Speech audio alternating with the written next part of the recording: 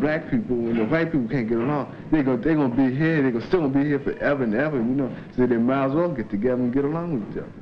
Like they say, all whiteys aren't bad. I don't know. I don't go around counting the whiteys that are good. I'm not going to bother either. I'm not going to go around counting the black people that are good. But I'll say we're all brothers and sisters. We've got to work for a mutual goal. You know, you know what I would like you to do as a favor, not favor. As one human being to another, I wish you to go back to the white communities and help them, because they're in big trouble.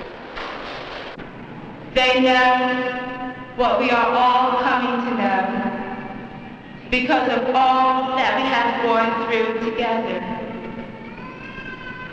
It is simply in the words of a modern poet. We must love one another or die. Oh.